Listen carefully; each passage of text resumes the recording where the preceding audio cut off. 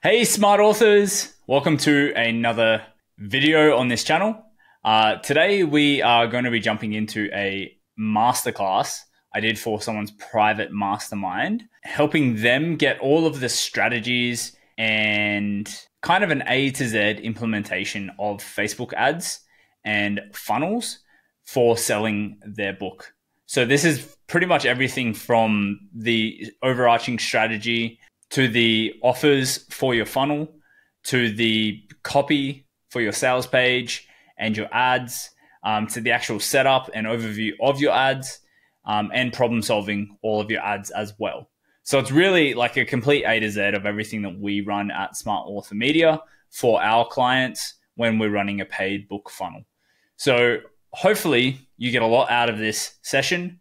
Um, it is a longer video; it's around an hour and twenty minutes um, and the actual masterclass went for around two hours with Q and A and things like that.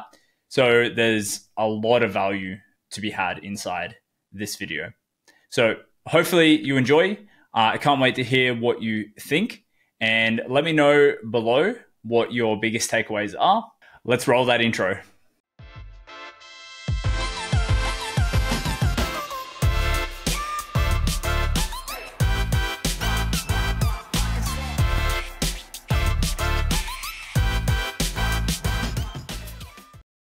Today, we're going to be talking about, as Sue said, selling more books, building your list and growing your business using ads and funnels. So ads and funnels is something that we specialize in our business. And, you know, we do Amazon ads and things like that as well. So we kind of see both sides of the advertising realm, but I really like to specialize in this area because it's harder. Not many people will have a go at it by themselves, but hopefully we can empower you today to know how to do this for yourself.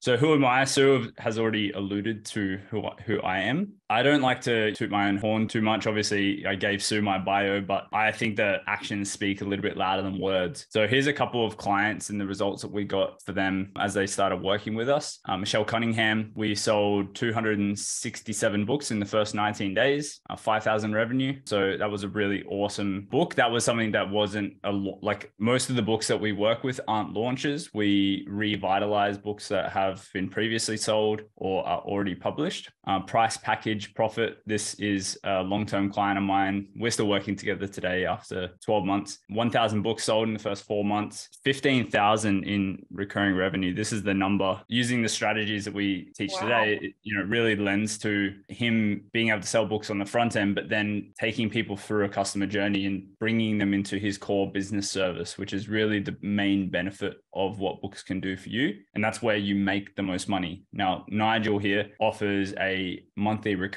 membership offer. And it's only $47 a month, but that can add up quickly when you have thousands of new potential clients coming into your business. George Markoski, 543 books and $69,000 in revenue. So again, another one of those examples, being able to sell something on the back end of your book because the book buyers, the book people who opt in for your book or buy your book, they are your best clients. They will become your best clients. Go Diaper Free, 258 books sold in the first 30 days and $5,000 in revenue. Now, these two here are actually back end revenue figures. And then this one and this one, both direct in funnel revenue figures. So that's not even accounting for any back end stuff that could potentially come into play. Um, Scott Alford, in the first 30 days, we actually sold 656 books for him. Um, and that was through Amazon and Facebook ads. And then James Schramko, awesome Australian client, we actually gave away 5,000 books in the first 30 days at 90 cents per book um, to an Australian and US market. Now, this is using a similar strategy to what Sue has already taught you, where you give the book away for free. So just in exchange for an opt-in name and email kind of thing, but still fantastic results. In the past six months, as Sue alluded, uh, I've sold over 12,000 books and this is sold slash given away. So this is a, a combination strategy of selling and giving away books. I think it's it's a really impressive number, and I'm super proud of the work that we've done so, you know, as a new or even established author, you're probably facing a big problem. You know, how do I get my book into the hands of people and make money doing it? That's pretty much the main thing that every author wants to achieve if they are going in it with that intention. So, a lot of people I see actually come up to a bit of a hurdle where they have a book and then they think they're going to make money from the like all their money from the book And it's like in very rare cases, unless you get an awesome book deal or you're a new JK Rowling or something like that, you're probably not going to get a lot of money from your book. And so it's up to us to be strategic and smart about how we sell our book. And for me, I think that there's a few different things here that we can identify. So, you know, for selling our book, there's complicated ways, there's simple ways, there's leveraged ways, there's not leveraged ways. So, from a complicated standpoint, let's just say that Facebook ads and funnels is a little bit harder than some of the other methods like Amazon, but both of these are leveraged ways of selling your book. Now, not not leveraged ways, you know, that also goes from a, a simple to complicated scale as well. So, not leveraged ways is, you know, like going to events and trying to sell your book or give your book away. You know, that obviously takes a lot of time, energy, effort, friends, you know, maybe leveraged, you could potentially get in a bookstore but how complicated is that, right? Like that's probably not an easy feat. You probably have to either really, really connect with the bookstore owner or and then at that point you might only get in one store you know so it's not very leveraged in that sense you might have a lot of traffic in that one store but not across the country or the world and so like really for me when i look at the way to sell books um, i'm always going to go to the leveraged ways and i'm actually going to default to the facebook ads and funnels because this this way is the way that we can build lists and make more money when we sell our books on amazon ads we get our books into the hands of people but we leave the journey up to them. We're not able to take them into our ecosystem and nurture them and send them into other offers that we may have. And so, with that in mind, Facebook ads and doing funnels, whether paid or free, is really the only way that you can effectively utilize your book. So, where do you start, right? So, it really comes down to the strategy. Now, Sue has obviously told you all about giving away your book and giving away your book and you know offering a strategy call on the back of that. That's that's pretty much the default strategy I recommend to clients who just want to have calls and conversations and bring people into their next offers as fast as possible. But let's um let's have a quick look at like what some of the benefits are let's say pros and cons. Selling your book is harder. Selling your book can create great customers. Those customers will likely read your book versus the people you give it away to, there's a higher percentage chance that these guys will be readers because they purchased this book from you. Because they purchased this from you, that makes their next purchase easier. So, in that sense, when you sell a book, it's a little bit harder to get customers and the conversion rates are lower, but you get the benefits of great customers. You get the benefits of people actually going through your stuff, consuming your book. And like most of us, we wrote our book for a reason. We want people to read it. We don't just want to use it as a, a lead magnet kind of tool. That doesn't mean that people who get your book for free won't, but that's, you know, just a small caveat here. Like I have found and seen that people who buy books read books more than people who get books for free. People who pay, pay attention, they say. So giving your book away for free, this is easier. You can build your list easier, but you may you may have a bunch of unqualified people or people who aren't as good as the book buyers. And so, like, that's fine. Ultimately, both of these can lead to us creating a customer journey to nurture and, and bring people into what we have to offer. They're both good strategies. It just depends. I find that this is also more expensive, right, to do this is cheaper. And so like it also determines like, you know, what your budget is and what you're happy to pay for a customer or a lead. Because ultimately the people who buy your books are still leads. They're not yet fully indoctrinated into your business. They're not fully customers. And so if you just look at it like that, would you rather have a cheaper lead or a more qualified, more expensive lead that is most likely going to be a bit more of an action taker, generally speaking. So once we determine what we want to do. And for today's sake, we're going to pretend that paid is the strategy for us so that we can go into a rabbit hole there. Um, we need to determine what our funnel offers are going to be. And so a lot of you guys may have physical books and digital books already. So the two different formats there. I would throw in an audiobook is probably something that you should consider looking at creating. And um, I'm not sure what Sue's stance on this is, but there's a, a, few AI tools that can mimic your voice these days if you train it, and they can actually create your audiobook for you a little bit more simply. Again, I'm not really sure where I even stand on that. You know, the the actual intentions and purpose of that would be over time, but definitely just something to consider if you want to make your life a little bit easier but obviously just make sure you read through terms of services of all those platforms and things like that, just so that you're protecting yourself. But okay, so let's just pretend we've got three different formats that we potentially could offer our book in. We've got a physical book, we've got a digital book, and then we've got a audio book. So the way that we look at our book funnel offers, we have the front end. I'm just going to put FE. So this is the first offer that someone will see, right? This is what our sales page will be about. And this is typically our book plus bonuses. And so you can actually lead your front end with audiobook plus some bonuses, or physical book plus some bonuses, or digital book plus some bonuses. It doesn't actually matter. I would actually argue that it depends on the market that you're in. It depends on who your audience is. Are they more likely to listen to audiobooks? Cool. Like t- let's test an audiobook up front. That's really going to be the way that you can determine if it's successful for you. I don't have the answers for you. I don't have the answers for clients. I can only offer suggestions and then we can test it. The the cool thing about ads is that we have a testing machine machine, we can ultimately test what we want and validate if it works or not. That's really the real benefit of running ads. When you run organic, it takes a lot of time. It's confusing. You know, people may already be like savvy to you. They might already be warm to you. When we run cold ads, no one knows about you. And so like it's a true test of if it's going to work or not. And so let's just look at this.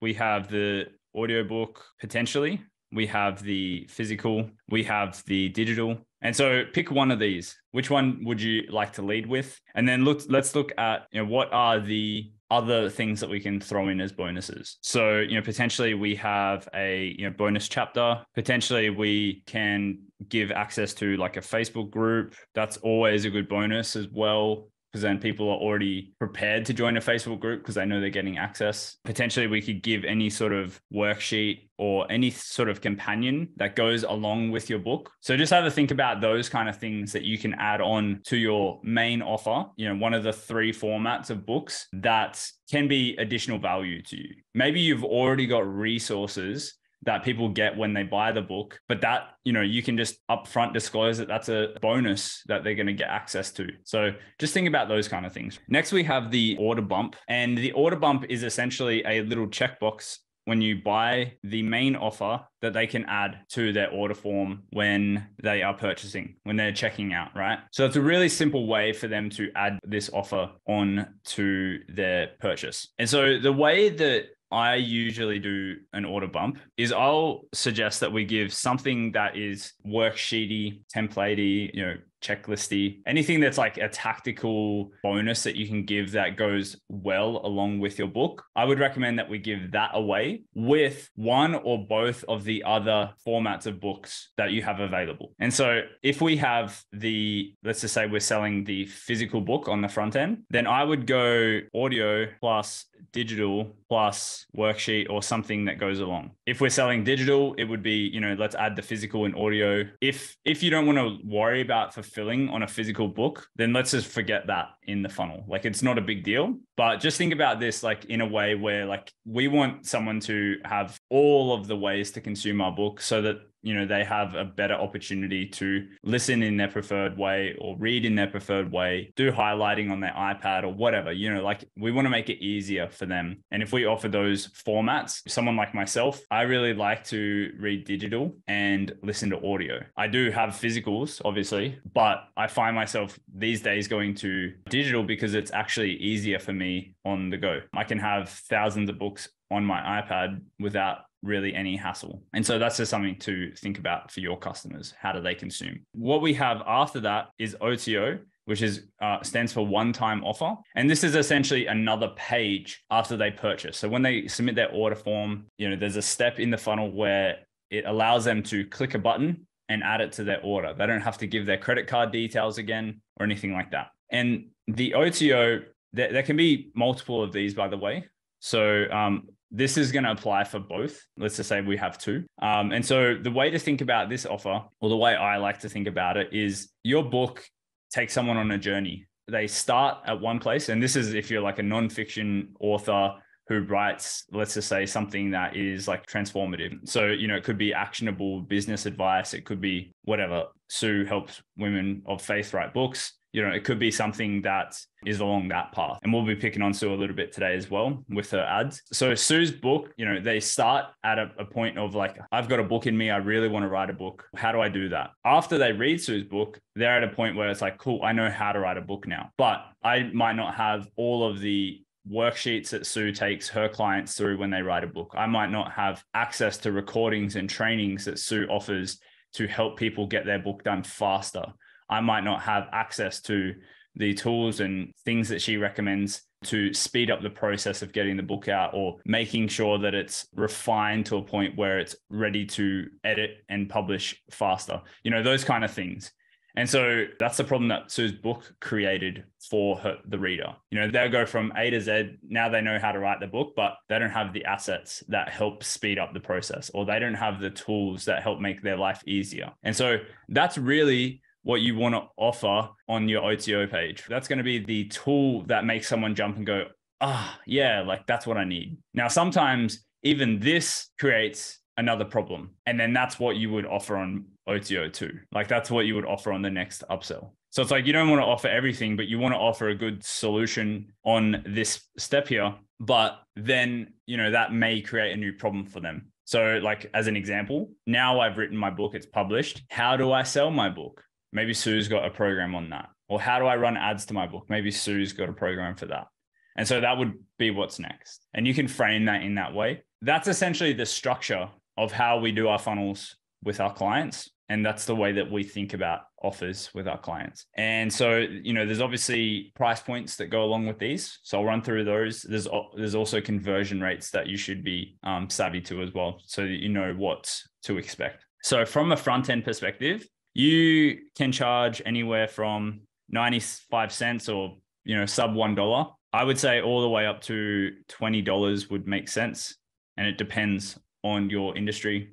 Um, i actually prefer to charge less here because i can get then higher volume through the funnel so that they can see the other offers that i have in the funnel and they can become customers of mine well my clients so that there's an opportunity for you know further nurturing and, and on selling in the future. So i would say on this one charge less if you can if you're cool with it. On the um, order bump then we can start to add in some higher pricing to um, increase our average order value. So from the order bump side let's just say you know we can charge 17 to $37 sometimes even $47 depending on what's in- included.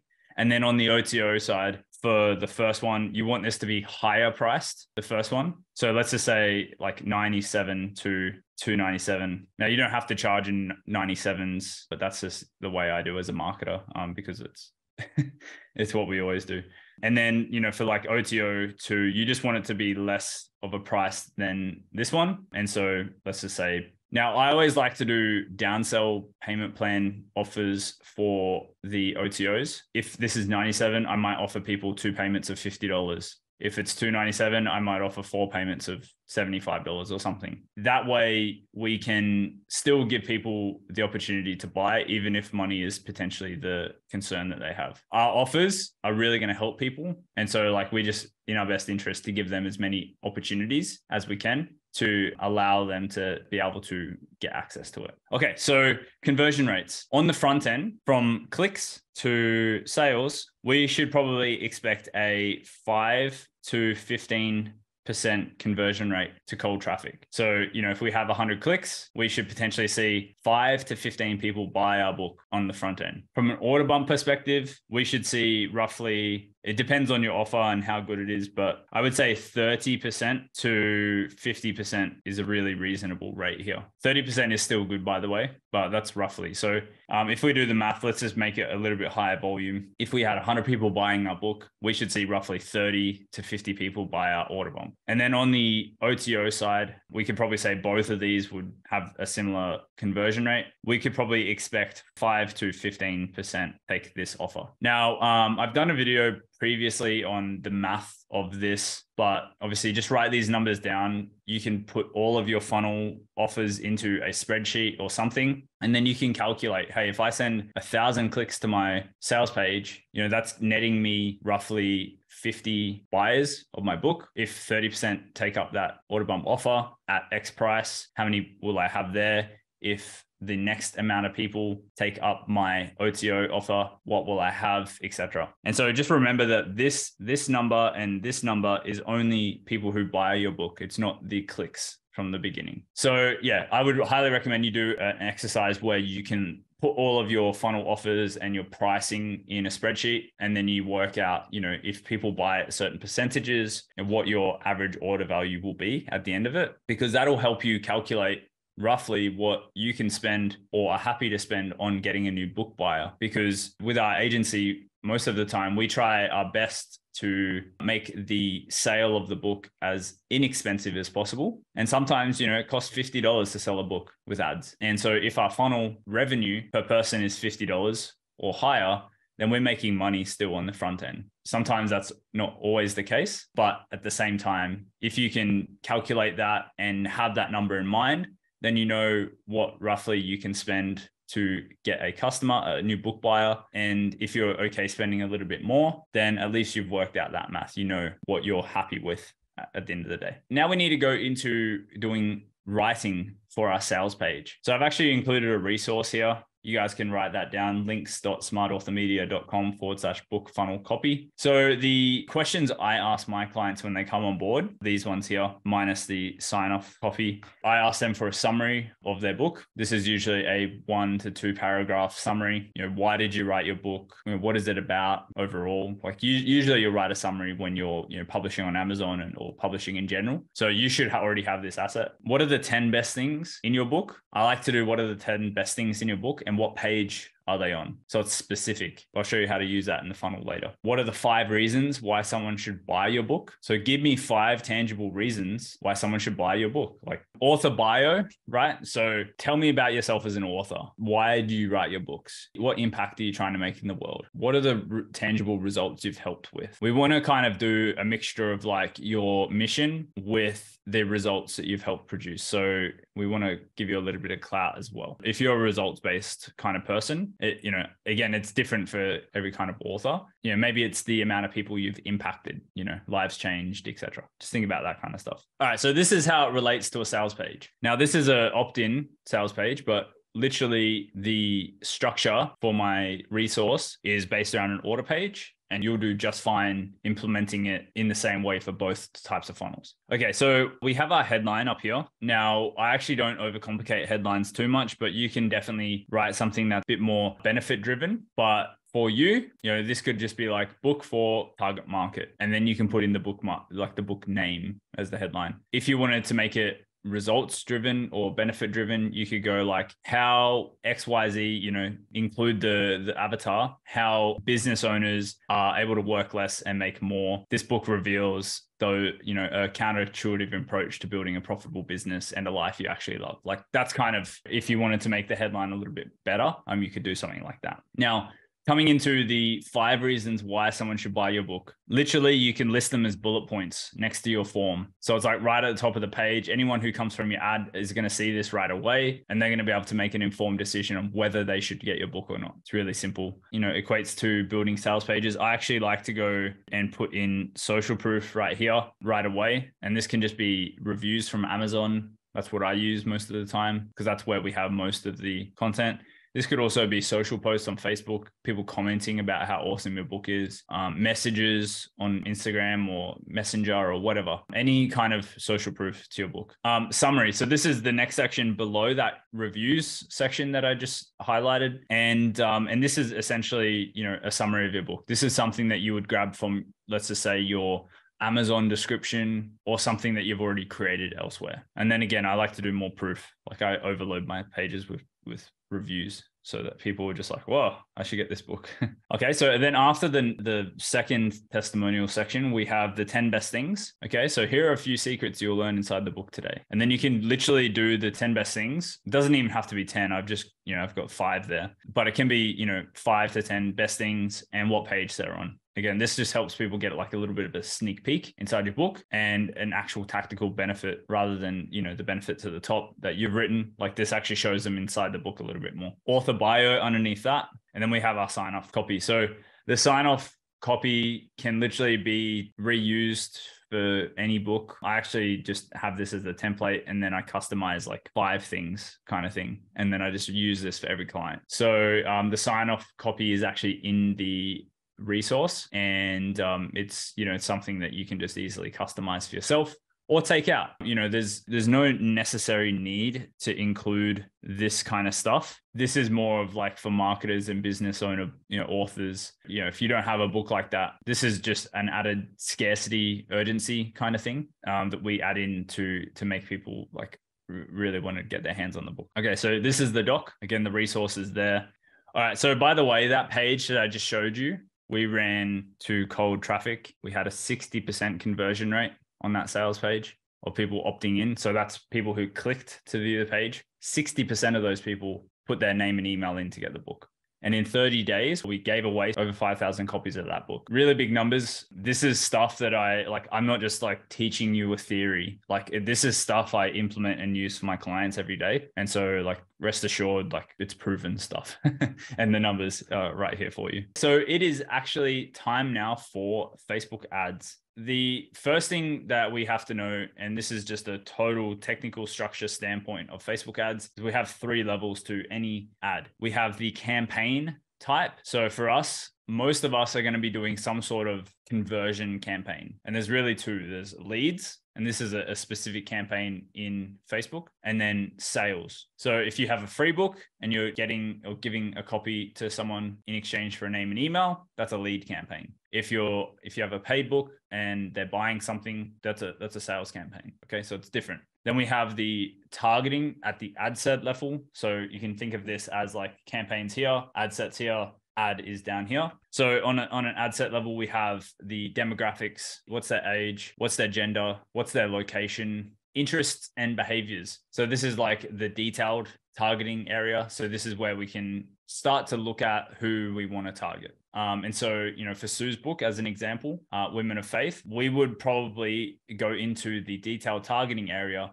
and start to type in things that would relate to that. So, like people who would potentially be authors, but then also believe in God, right? So we would start to look at different targeting options that have that correspondence. So, you know, popular book writers, we would try to find, we would um, look at what the popular, you know, churches are in the countries that you know Sue's targeting. We would look at you know the the popular idols as well, and we would kind of do a bit of a discovery on where we would uh, start our search. And I'm sure Sue, you know, in her experience, has run many ads and knows exactly how to target her audience. Um, but we'll explore this a little bit later. We'll actually jump into the the Facebook ads editor and go through this um, together. And then finally, you've got um, lookalike audiences, which is essentially if you have an email list of customers or leads already, and you want to market to people who are similar to those people, then you can actually upload that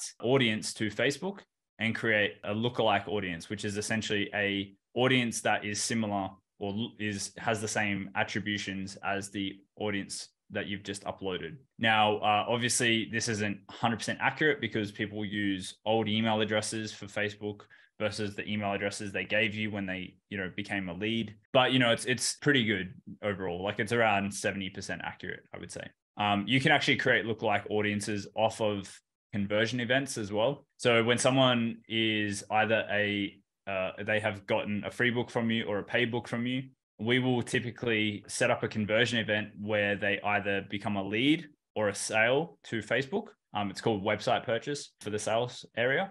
And with that, you can actually tell Facebook to create a lookalike audiences of all of your leads, or you can create, tell Facebook to create a lookalike audience of all of your sales. And that that doesn't require you to upload any kind of lists to Facebook from there. Cool. And then we have the creative, the ad level. So this is uh, this includes a few different areas. This is one of my clients. We have the primary text, which is here.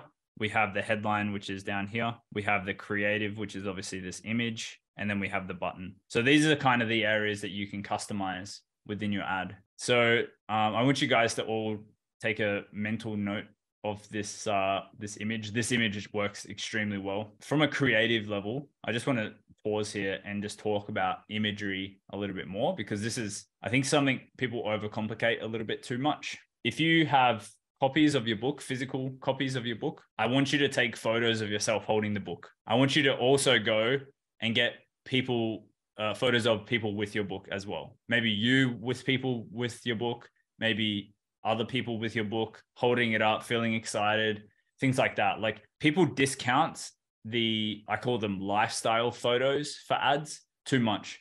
Like those ads actually work the best in my experience. And I've actually seen, you know, ads where someone's taken a photo. This Scott actually took a photo of his book in a box, like a, a bunch of book, his books in a box, and he was just opening the, the box. And like that has actually been our cheapest, highest performing ad from Scott. Um, you can also get your book and just like hold it in front of you and take a photo of you holding it. You can also take a video and flip through the pages of your book and video that as well. You know, like we don't have to overcomplicate the creative side of things. Now, um, I obviously create a lot of graphics and things like that for my clients because it doesn't require them to do any work. And like for me as an agency owner, like I want to do as much as I can with marketing the book without my client's input as possible. So like we create these graphics like you see on the page right now, but I, um, you know, we all have phones with cameras. Take photos. You have a book. Take photos of your book, right, and use that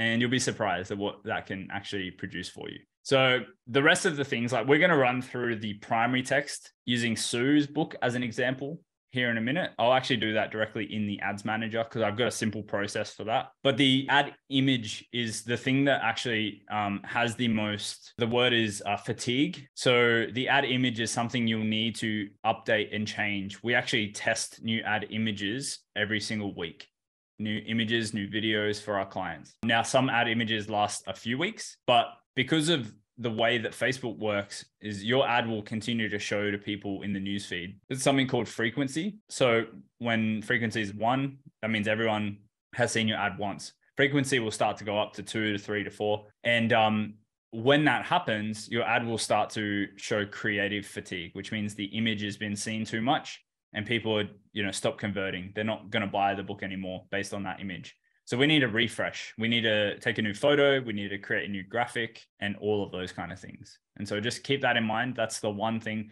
We've actually run for five months now this exact same copy that you see the primary text at the top and it, it still works. It's the image that we have to change often. Um, for the button this is a preset thing that facebook gives you. There's order now there's get offer there's learn more. You know, it just depends. Like sometimes I like to do order now. If I'm explicitly saying, hey, it's a one dollar book, get it, you know, get it now. So order now is like very like go get it, and it's direct. Whereas if you want to, you know, do learn more, you know, that maybe gives the opportunity for someone to click and read your sales page and, and find out more about the book, see the reviews, etc. Um, or get offer if if it's you know, hey, get yours just one dollar. Like that's another prime get offer button example. And then the headline, this is something you know, I, I like to do just like something simple. Um, but this is also something that people will read, I would say, second to your ad image. So your ad image is what they see first, then they'll come down to your headline. And so if you make it curiosity driven and you want people to read your primary text, then they'll go up and expand the primary text and read through that.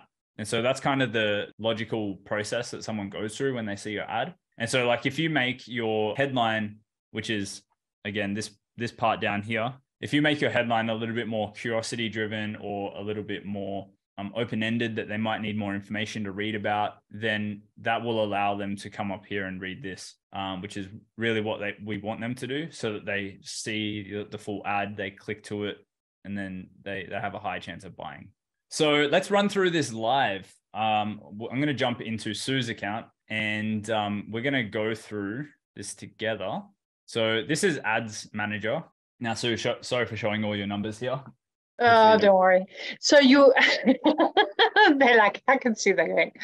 Ah. um, there is one of my ads has got a picture of me holding books, by the way. Yeah, I did see that, and I'll, I'll use that as an example. And guess which is my best converting? The one of you holding a book.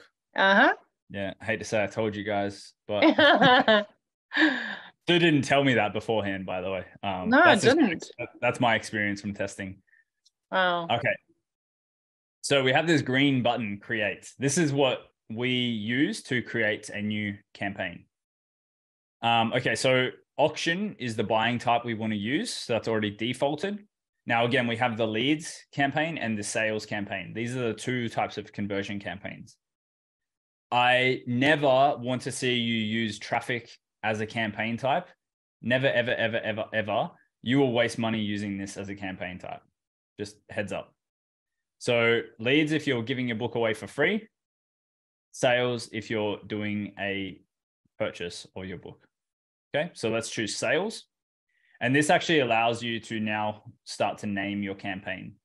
So for me, I like to, you know, I'll come in and do a tag here, essay. Um, that's my smart author tag. And then I'll say like, you know, let's just say, um, uh, so what's your book title again? Uh, write it now. Write it now, women of God. So I'll just go like W I N. I N win. cool. Hmm. Win uh, book sales or something like that, right? Something simple. Then as we come down to the ad set, um, I will typically uh, name this after what we will do our demographics on, so that we can see what's um, what's going on.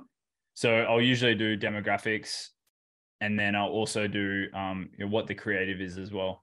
So I can see at an ad set level, hey, what is the image or the type of copy that's working for us. And then down here, I'll just do creative. So we'll, we'll come back through and I'll properly name this, but that's just kind of the format that I use. So I'm just going to this, you know, just ignore this kind of stuff. Let's just go into a manual setup. Okay. So from from a campaign level, we actually don't need to do anything else here, right? Um, that's pretty much all set up for us already. And then from an, uh, an ad set level, what we want to do is go to websites. And then we'll choose our um, conversion event, which for all of us, it should be purchase. We'll set our daily budget, and this is going to be different for every single person here. You know what this is what this one ad is going to spend on it on a daily perspective. I would say like no less than ten dollars, right? That's probably too small if you if you're not spending at least ten dollars. So for most of my clients, I start this off at like fifty. Um, I would typically spend hundred dollars a day when we launch our ads so that we can get as much data as fast as possible. Okay, cool. So then we're going to come down into the audience area. So this is where we set our demographics and our targeting. So location is very important. I would recommend that you guys pick one country to start with. If you do more than one country, far too thin. You'll probably spend a lot of time and energy on marketing across the world to the main five countries and it'll be hard to know what's working for you. So pick the country that you live in or the country where your target market is. For most of my clients, it's the United States. Some of them, uh, it's Australia. I've got a couple property investing books. That's an Australian market. We'll just market in Australia. The age range is not that important, but let's just roughly say, like, hey, if if I had an ideal reader, what age are they? You know, for Sue, it probably would be 30 to 55 or something like that, or even maybe 30 to 60, right? Um, Sue, correct me if I'm wrong, it might be a little bit younger, but. Yeah, no, definitely. I would say people younger than 30 are not, well, there are some, but uh, not as many are thinking about writing a book. Yeah. Okay. So if you wanted to be safe, you could go 25, but let's mm. just hmm. say 30 for this example and it's for women, right? Yeah, yeah. So always two women. There you go. So you know we're going to change the gender to women. And then um, I and do then... reading. Uh, so as an interest, I do reading because obviously readers readers buy books. Yep. Do you okay. always do that? I don't know. I so for me, most of my clients are like business owners. Yeah. So like yeah. I have um I've got a business owner stack of detailed targeting that I use and it's typically other business authors right yeah that are well known like gary vee um, uh, brendon burchard um, you know jim rohn etc yeah. So i do like business authors and business leaders and typically people who are interested in those kind of people will buy another business book. Mm, mm, true. I do target jim rohn because he's a christian. Um, Actually, Facebook has actually removed targeting for Christian influencers, um, and Facebook made it very difficult for people who are targeting Christians to actually directly target to them. Um, okay. Which is very interesting. So Jeff Goins is another good one because he helps people write books. How do I spell his last name? Uh, G O I N S. Cool. Uh, so there's a good. Yeah, there's a good one. Zig Ziglar is a good one as well. I, I do Zig Ziglar as well. Yeah, personal development, and he was a Christian. He's a Christian as well. So let's just let's just leave that here. Ultimately, this estimated audience size, we generally want it to be kind of above uh, a million if possible, right? Um, if if this audience size is too small, we're going to run out of. I mean, we, we technically won't run out of people to to run ads to, but it just makes it makes our, our budget um, a little bit harder to get spent. So this is a, a decent audience size. You just want to aim for a, a fairly broad audience selection. So right in the green area. Um, if you go too specific here and your audience size is too small, then it's going to be hard for Facebook to find a lot of people for you to run your ads to. So let's just pretend that this is a good audience stack for us. Um, now, for you, um, just like Sue was, you know, thinking through, um, you know, who is someone that might be a good fit for you based on their, uh, you know, their their beliefs, the, their following, and the people who follow them you know what do they believe in? What do their uh, followers do? So like zig zig ziglar again his beliefs he's christian he's into personal development. So people who are interested in zig ziglar are likely similar right? You know i, I i'm a fan of zig ziglar. I'm not necessarily christian but i'm into personal development. And yeah. so like yeah. you can find that there's you know a percentage that people aren't exactly the, a good fit but you'll find that there's a, a good percentage of people who are as well yeah. Um, and now for Sue, I would actually say like targeting countries like United States, where it's like primarily a Christian country as well. Like that mm-hmm. would get a lot more bang for buck um, than someone like uh, Australia, where there's a smaller Christian population. Is there? I didn't know that. So um, just just think about you know those kind of things. If you think about the the targeting that you're doing, um, and you know potentially what are the traits of the people that follow them um, and you know are they your ideal audience? Is there going to be you know, obviously there's going to be a percentage that aren't in there but is there a good enough overlap of people who are right? Yeah. so pretty much everything else let's not worry about any other configuration. Literally this audience area is kind of the only configuration besides budget and what our conversion type is going to be okay? And then creative. So this is the oh uh, sorry let me go back here so um, now that we've got our dem- demographics figured out, what we can do is come into here and go um, age, so 30 to 60. And then we can put in, um, we can put in the country, so like UK as an example. And then we can put in the demographics. So let's just say this is uh,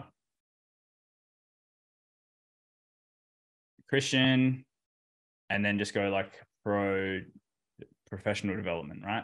Something like that. We'll come back and edit the creative later, but this gives us a good idea, like at a quick glance, like, oh, cool, 30 to, and we'll probably actually put in um,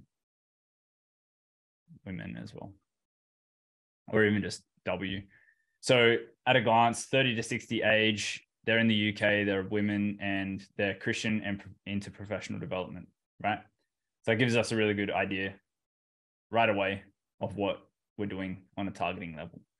Now, this obviously is only super applicable if you run different targeting, but I would suggest that you test different audiences as well and just see what you find works. Like, again, I don't know what's going to work for you. I don't know what's going to work for my clients, but we test, we figure it out.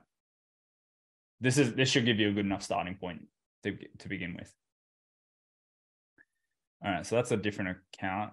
Let me just see if I can. Cool. All right, so now we go to the creative, right? This is the the area where I stayed on Scott's example for a little while. And this is actually not a complicated area either, but we do need to write some primary text for the book. Okay. Um, first, let's go and add some media. So we'll click on add image. Now, I created a book uh, for Sue, a book graphic. This is obviously, it says free book, but, um, you know, this is something, again, like Scott's example, that would work quite well. Um, if it wasn't free book, you know, new book, get your copy now for just X amount or something like that would be applicable. Um, or as Sue said before, I think this book here, or this ad here was the one that worked for her, right? Yep. So we'll just crop this in.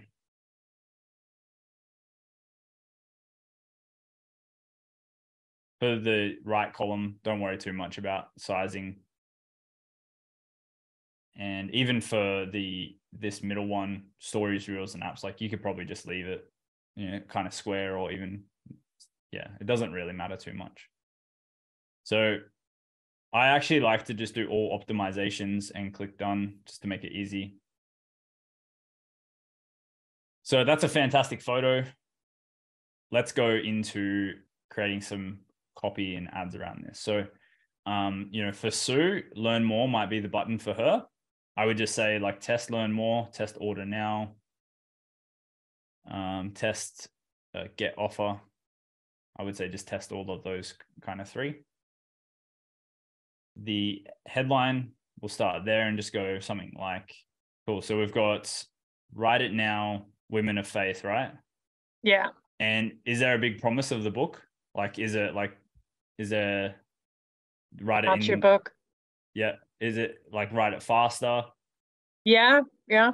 It's uh the subtitle is How to Write Your Faith-Based Book Fast. Cool. Okay.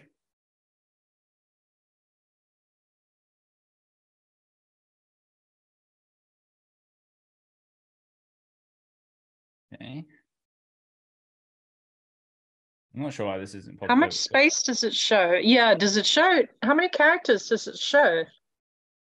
I didn't It'll show- realize you could make the headline that long. Yeah, you can you can write it as long as you want. It will it will depend on the the feed. So I'm not sure why this isn't populating. Let me just I'll just put in a website here. Um Oh, you can put writeitnowbook.com. I've I've got that domain now.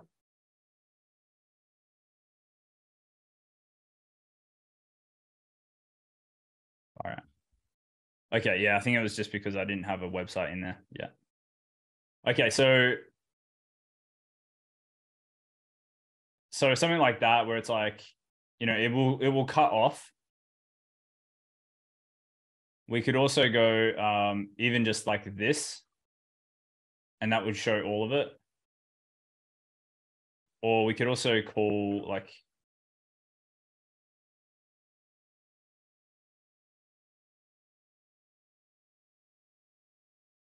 And then if we said women of faith at, the start there, we could also go like how to write your book fast, you know, because it's like it's already calling that, and then that all shows, right? So like once you just play with this, again, this is something to test, right? Um, if you have a specific offer as well, like let's say, say you're doing a dollar book or something, you know, you can just like Scott's example, you can just jump straight into saying, you know, best selling book, get it now for a dollar, you know, over 60,000, you know, Scott's one is over 60,000 copies sold. Like that's obviously a really good tout. Um, you know, we, we all may not have that it's accolade to, to sh- share in an ad, but, you know, just get a little bit creative with the headline. Again, people are going to go here first, image, then here, and then up to the primary text. Okay. So primary text is actually pretty simple. Um, or I'm going to try and simplify it for you. So I like to start with a problem. So, Sue, what do you think for women of faith who have a book in them? What do you think their biggest problem is right now? I know the main ones is Uh, so we have a few here. I think. don't know from- how, can't find the time. Yeah. Yeah, don't know how. Oh yes, you can see you can see them there. Those are the ones I hear all the time. And then there's also there's fear and self doubt. Uh, you know, will anyone ever read it? Um, uh, am I good enough? Uh, am I qualified to write a book? Uh, how do I do it? Where do I start? Okay, cool. Okay, perfect. All right. So um, the the way that I like to start this is um, we could, you know, obviously our headline is calling out who the audience is. So if you have that in there, then we don't necessarily need to like directly relate that again. Um, if you don't, we would definitely. The way that we would start this is like, are you struggling with? Are you struggling to, let's just say, find the time and motivation to write your let's just say faith based book right? So we always like I, I generally would would start with a pain like that. Because it's a hook it's a way for us to like quickly identify like hey if this person isn't struggling with this then it's probably not the book for them. You know like even here it's going to qualify disqualify people. And then we can actually just go straight into it. It's like my new book, and then we can put in the title. Oh, what's your sub? What's your thing again? Sorry, Sue. Uh, write it now, woman of God. And then colon, how to write your faith-based book fast.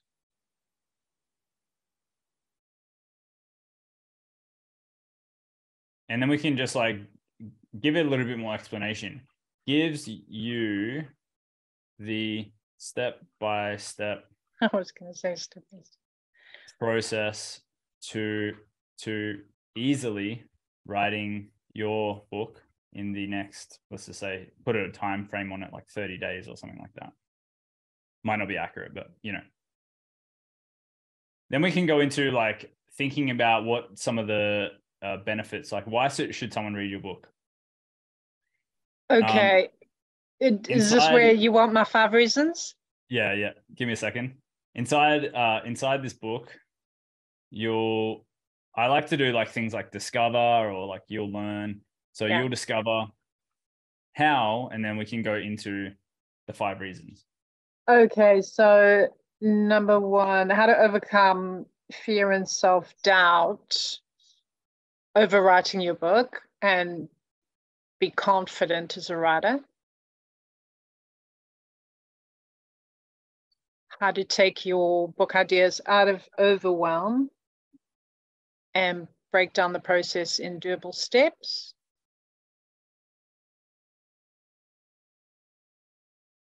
How to be motivated like never before from the Queen of Action. I found out how to build excitement around your book before it's even written. And I've got another one actually um, how to create your book outline for multiple genres okay and be ins- inspired by stories of people just like you who Okay. didn't think they could do it and have done it. all right we'll just leave it here for now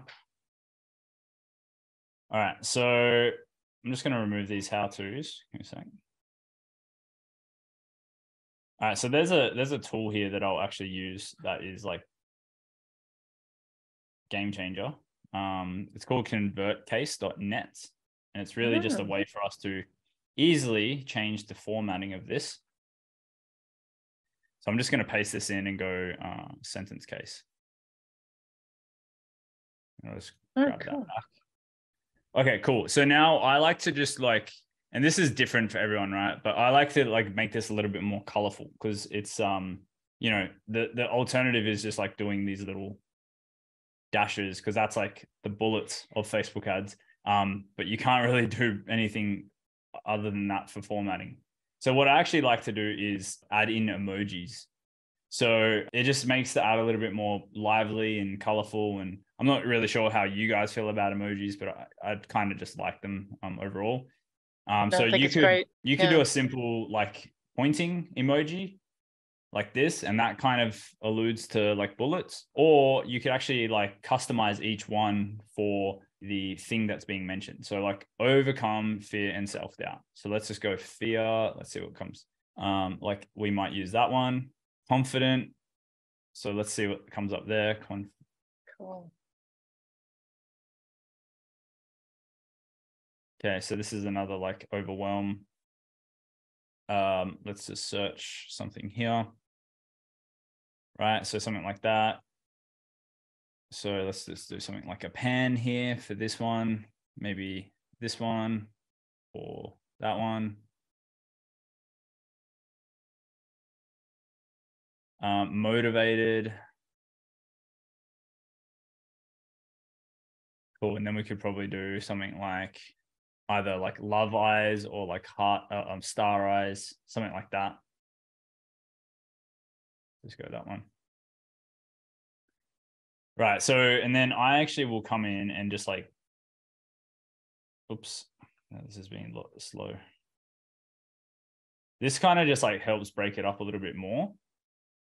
So like as we look at the ad it kind of just like gives a bit of white space for reading opportunity um, and then really just need to do kind of like a a, a sign off kind of thing here. So you know we've spoken about like, hey, what are the struggles? And you know you could lead with multiple other opening struggles here. So for Sue's here, like, are you struggling to find time, motivation?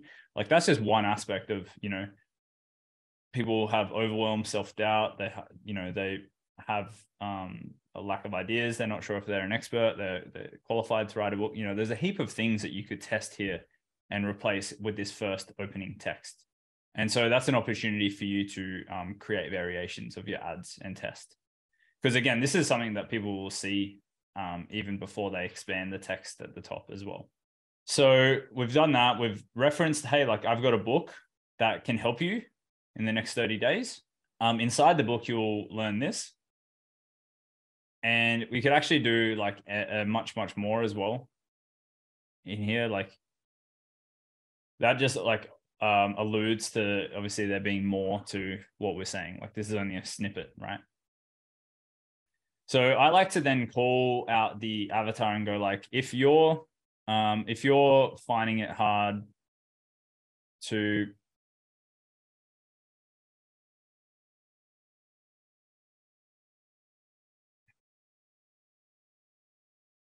Right. So this is just like you know, very simplistic, right? Like I'm not overcomplicating things here. Um, Sue obviously probably has a lot more like story based stuff that she could try um, and write in here. But you know, me knowing very little about Sue's book, um, this is kind of what I would create, you know, as a starting point to test. Um, I would suggest that like a lot more story could go in between here and here. So Sue could tell a little bit of her personal story. Like when I first started writing my book, like, you know, I was completely stuck.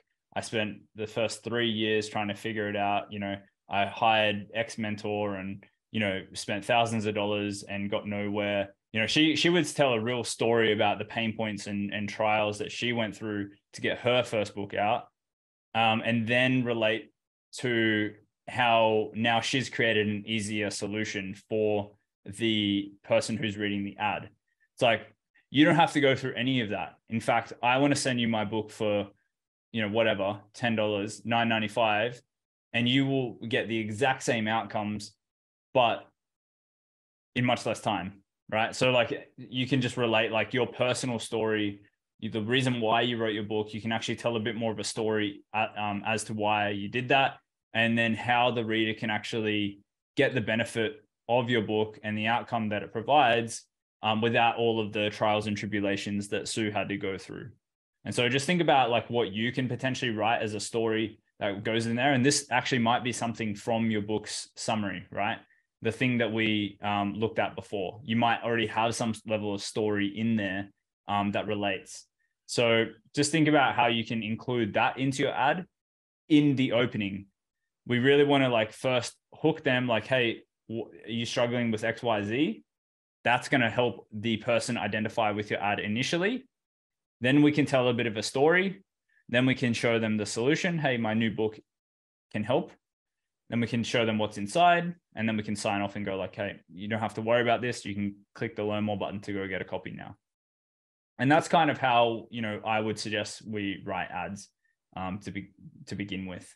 So if I expand this um, and just have a look at the ad properly, this is what a mobile viewer will see when they expect, you know, when they click learn more. You know, it's a nice little neat direct response ad. This, you know, someone who sees this, it's, you know, we're going, we're telling a little bit about the book and we're giving a direct offer. Um, the way to expand on this is just telling a bit more story and going a little bit more into the depths and the weeds of why you wrote the book and really trying to relate to the person who's reading the ad. Uh, obviously, I don't have the experience on Sue's book to write that right now, um, but I wanted to give you guys an example of like what you could get up today if you really put your mind to it. And then um, we've also got the desktop. Um, so desktop will show a little bit more of the primary text. See more will obviously expand that. So that's ultimately um, just make sure you have, you know, the website URL is in there properly. Like right now, book.com is probably not the proper one to use here. So just make sure you have your funnel URL in there properly. Um, and then we also need to make sure that we install our pixels and things like that. Um, the, there's training on that kind of stuff uh, from Meta, which we can, you know, I'll, I'll reference it a little bit later here. So um, creative, uh, let's just change this to um, something like, um, I'll just say uh, DR copy, direct response copy, and then I'll say um, Sue holding books, right? And then up here, we can then include that in the um, ad set level. I would say that Sue holding books is the one that's going to change often, just again, based on the images are the ones that you need to test more. So we would just change that to Sue holding books. Now, the way to build more tests is we would basically come in here and we would duplicate the ad set. So from now, like this would change from Sue holding books to uh, book graphic And then under here, we would change DR copy to book graphic. Then we'd, you know, come in here and we would edit the image to be Sue's book. Again, I've got the wrong text on here, but you know, it the the same thing is applicable, right? So now we've got like two different ads that we can test. One's a graphic, one's a picture of Sue holding the book. And by the way, you can just have all pictures of you know people holding a book or you holding a book or you with people. Like you can do a lot of lifestyle stuff but this stuff works good as well, just as a heads up. And um, yeah, I mean, like that's as simple as it is. Like you would basically hit publish on these. Um, they would go live and start running the ads um, as soon as they're approved by Facebook. So if you don't want them to go live right away, you can just turn this off, wait for it's approved. Once it's approved, you can turn this on and it will run as soon as you turn it on. So if you want to wait, just prepare things with the campaign off and click publish. Like I, will do that now for Sue so that she can see this in her account um, because it's only for me whilst I'm creating the ads until I hit publish, no one can see it. So now Sue will be able to see this ads. If she wanted to run this ad, she could once it's approved by Facebook and she can just turn that on for whenever she wants kind of thing. And that's basically it. So let's go back to my presentation because I have some more things I need to run through that relate to um, what happens when things don't necessarily work for us. How to problem solve ads? Because the first thing that we need to do is just have the assumption that ads are going to stop working. Ads don't always work. And in fact, I've had ads where it costs hundreds of dollars for someone to buy one book that's free plus shipping. That's a $9 book and it costs us $200 to get someone to buy that book. Okay, so things will stop working. So don't don't just like get surprised when they stop working for you. Assume it'll happen. Okay, that's the first lesson of running ads on Facebook, because um, it will. And I'm sure Sue's wasted a bit of money um, on things that don't work as well. I like this analogy of a leaky hose. Just pretend we've got a hose that has a bunch of holes in it, and the starting point is our ads, and the finish point is our funnel. It is our job to start at one end of the hose, the ad side, and find to see if there's any leaks in the hose as we go along to the funnel side. And so there's essentially a process of what we need to check first and last to figure out what's working or not working. Okay, so that's the first thing we need to think about. So here are some metrics that you need to know. We have CPM. This is the cost per 1,000 impressions. We have CPC, the cost per link click. There's two types of CPCs, by the way. There's CPC all, which is anyone who's clicked on anything on your ad. And then there's the link click cost. We want to identify the link click cost. Um, and then there's the cost per result, which is essentially your leads or your website purchases. Let's just say that this is called CPR. Okay, so this is very like this is a simplistic generalization of a number that you can quickly identify to know if things are working for you or not. So if your CPM is above $50, then your targeting is probably off. Your message, your thing is not resonating with the people that you're running ads to right now. So you should probably go back to the drawing board on what you're who you're targeting. If your cost per click is above $7, then you don't have the right ad copy or imagery to entice people to click on your ad and go to your landing page. Just remember that if we're selling our book, like we kind of want this number to be definitely below $7, but like even below $5, because at the end of the day, that's only the link click. That's not people actually purchasing your book. So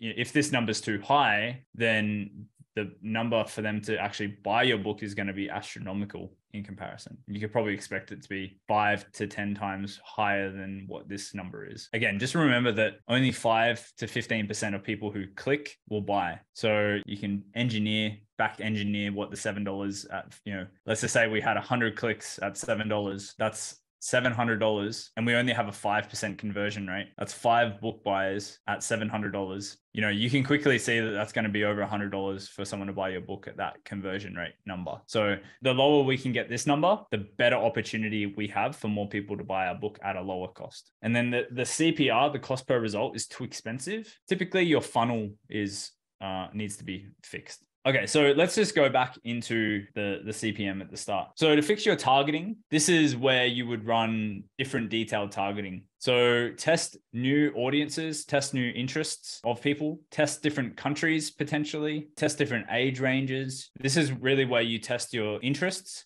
and your demographics of the people who you're running ads to.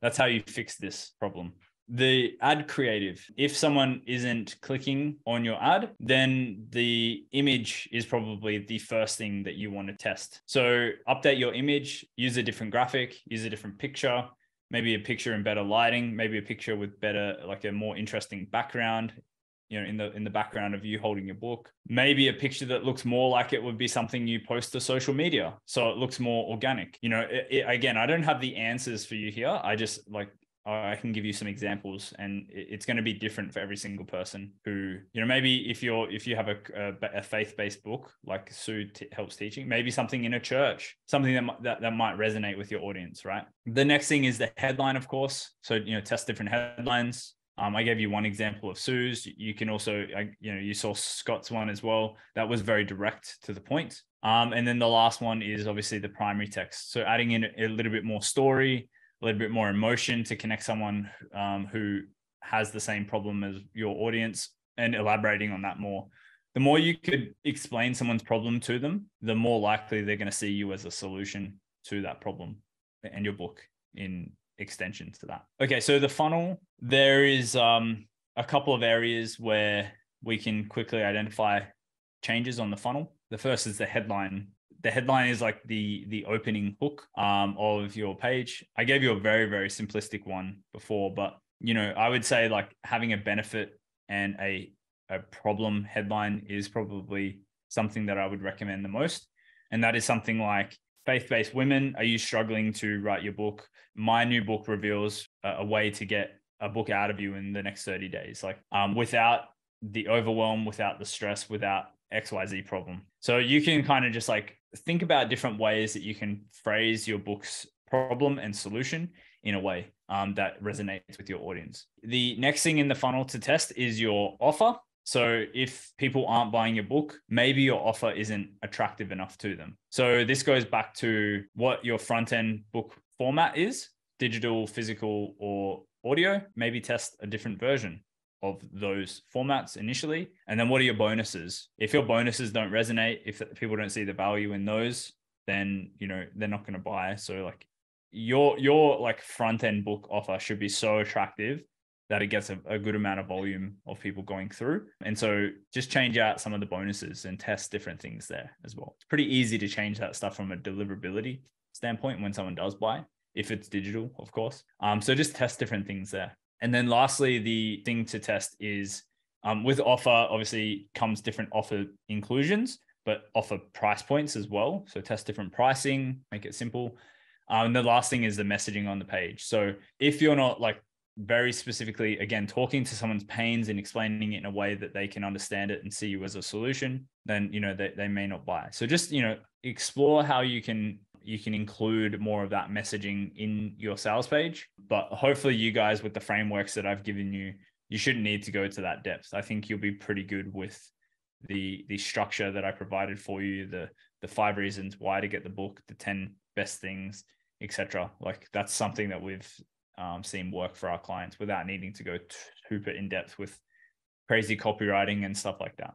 Okay, so um, coming back to a cost per results too expensive what is too expensive for a result? People, you know, will typically ask like, "Hey, how much should I spend on a, a book buyer?" And it really depends. Like, does your book buyer then go on to buy programs and services from you?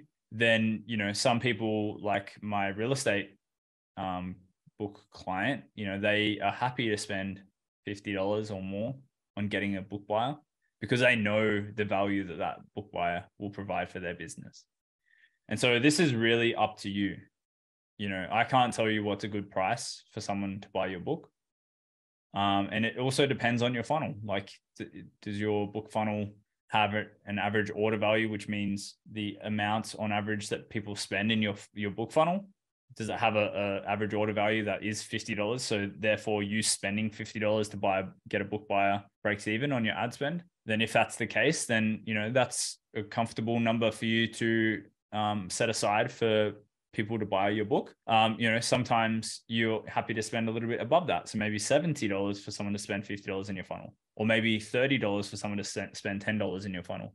You know, it, it's it's up to you really. It's what you're comfortable with. It's what you feel okay with setting aside. Now, I would actually recommend that most of you um, set aside a specific amount of money to run Facebook ads with to your book funnel without the expectation of any return on investment directly in the funnel. The really awesome thing about books, and I'm sure Sue can attest to this as well, is that it creates tremendous rapport and um, authority and credibility in the space that you're in. It's not all about making money from your book. You'll find that if people get your book and read your book and love your book, then that might not return anything on that relationship for several months, even a year, or even more but the level of authority and credibility that you've just built with that person is amazing. And they'll tell people about you if they enjoyed your book. And you'll find that it will naturally progress if you market your book in an effective way. And it kind of compounds in that sense. And so you know today it might be it might feel like it's expensive for you to run ads and there's no direct return on investment with the ads that you're running but i promise you that it will return itself tenfold just based on the efforts that you do today.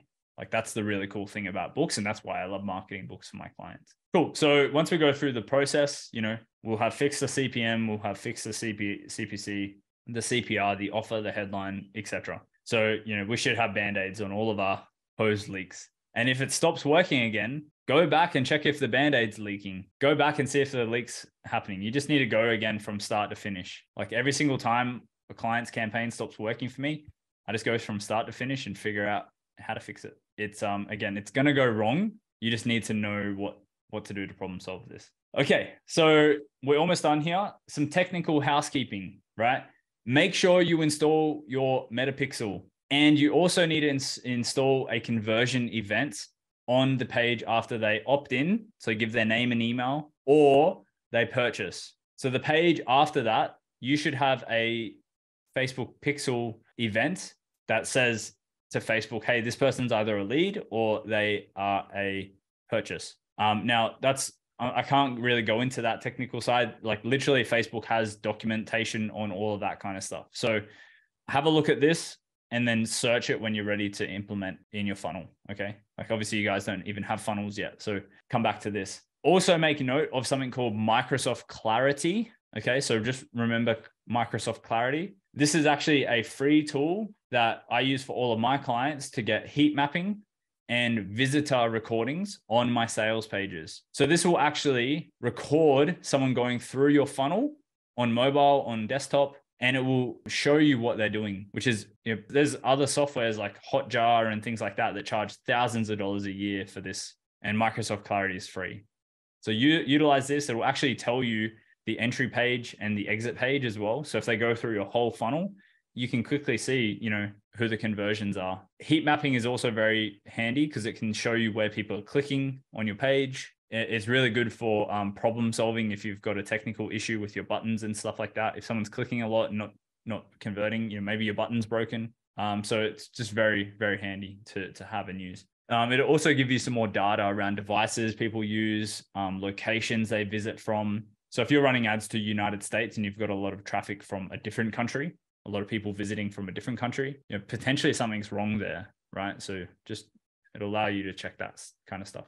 Test weekly, as I've explained, you know, ads fatigue, and um, you should always have backups ready to go. So in Sue's case, we've just created two ads. I would actually launch with two ads right away, personally, to split test. But after that, we would probably create about 10 more for my clients and just have those approved, ready to turn on. Because again, when f- things fatigue, and they will, you need to be able to turn stuff on. Otherwise, you're stuck without anything. Now, the process we use for my clients is we'll launch something new every Monday, and um, and we'll try to find new things that win. So every single week we we launch something new, we'll find new things that win, and then when the things that win stop winning, we have new winners that we can easily turn on or have to replace it. And uh, lastly, don't forget to follow up with your readers, right? Don't forget to follow up with the people who buy your book. I think it's easy to forget to email people or even set up the email automations. So when someone buys, you know, they get access to what they bought. Don't forget that stuff, right? Don't forget to email them consistently as well. And I'm sure Sue's ta- taught you all about this, but it's definitely it's very important that you build a relationship with these people. And um and there's something called a customer journey that you you take them through a customer journey. You deliver on your promises of what you said the book can do for them and then you further help them. If you do that you're going to create awesome customers for your business if you have one. Um, and that's that's really the most important thing here. So if any of you guys want help setting up and managing your facebook ads and funnel um, i'm a little bit expensive and i also am very picky with who i work with. But if you do you can visit this url at the bottom of the page that's been on the slides the whole presentation a little bit expensive and picky. yeah, I'm very picky. All right, Dan, that was an awesome video. Hopefully, like I said, you got a lot out of that. Um, if you are wanting some help setting up marketing for your book and potentially want someone to do it for you, there's really one place for us to best connect and see if we're a good fit to work together you can go to smartauthormedia.com forward slash chat, C H A T. And basically, we can go through everything that you are doing with your book marketing at the moment or haven't been doing. And we can see what our team, our company can do to help you. So that's smartauthormedia.com forward slash chat. And we can just basically chat to see if we're a good fit to work together. And if not, you'll at least walk away from the call with some good advice on what you could implement yourself. Look forward to seeing you over there.